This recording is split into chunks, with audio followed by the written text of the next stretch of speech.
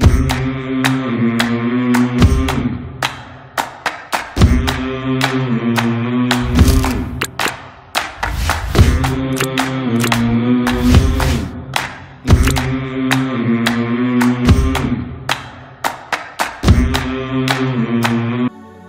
La República del Perú es un país soberano del oeste de América del Sur. El Océano Pacífico bordea su costa y limita con Ecuador y Colombia al norte, Brasil al este y Bolivia y Chile al suroeste. Su territorio se compone de diversos paisajes. Los valles, las mesetas y las altas cumbres de los Andes se despliegan al oeste hacia la costa desértica y hacia el este hacia la Amazonía. Es uno de los países con mayor diversidad biológica y mayores recursos minerales del mundo. Perú es un país rico en cuestión de su gastronomía, su música, su cultura y sus personas.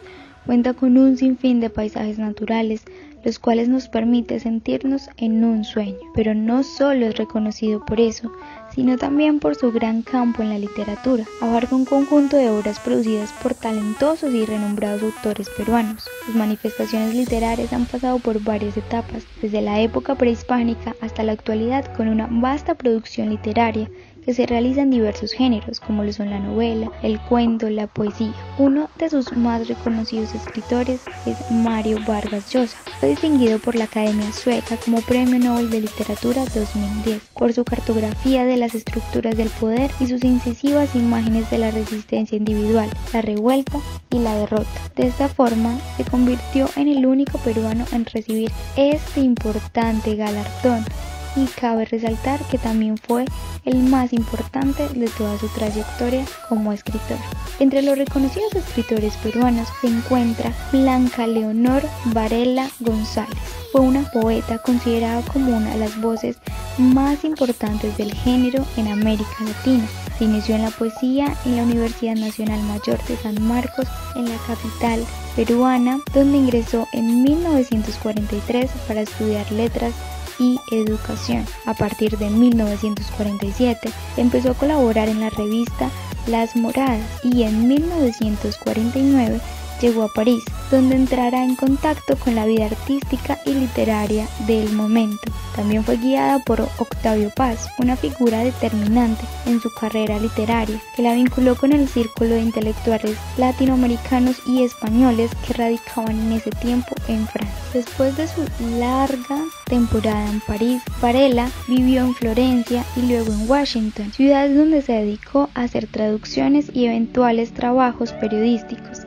En 1962 regresa a Lima para establecerse definitivamente y cuando viaja suele hacerlo principalmente a los Estados Unidos, España y Francia. El hecho es que algunas obras han sido traducidas al alemán, francés, inglés, italiano, portugués y ruso, ampliando un reconocimiento a su obra fuera de las fronteras de su país natal. A diferencia de otros escritores, Blanca no acostumbraba a dar entrevistas y sus apariciones en público son más bien escasas y discretas. Ha sido condecorada con la Medalla de Honor por el Instituto Nacional de Cultura de Perú. Dentro de sus obras más destacadas se encuentra El puerto existe, que es un prólogo de Octavio Paz. Su libro, que es Canto Villano, es una poesía resumida de 1949 a 1983.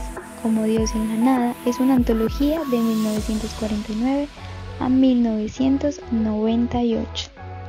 Durante toda su carrera, Blanca Varela recibió el premio Octavio Paz de Poesía y Ensayo en el 2001 y en octubre del 2006 se convirtió en la primera mujer que ganara el Premio Internacional de Poesía Federico García Lorca, dotado en ese entonces con 50 mil euros. El 10 de mayo del 2007 se anuncia a Blanca Varela como ganadora de la edición 16 del Premio Reina Sofía de Poesía Iberoamericano, dotado con 42.100 euros, convocado conjuntamente por el Patrimonio Nacional de España y de la Universidad de Salamanca. Sin duda, ha sido una de las escritoras peruanas de poesía más emblemáticas del país y del mundo, ya que, su, ya que sus escritos nos llegan en cualquier idioma y en cualquier parte los podemos encontrar.